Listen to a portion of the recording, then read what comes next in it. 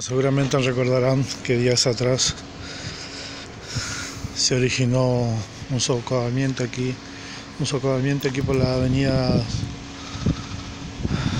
Caguazú al 1764. Ahora me quedo más tranquilo.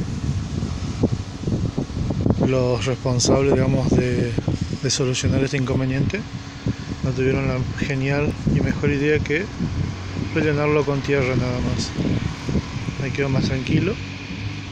Semejante obra que habrá demandado, imagino, varios millones de inversión.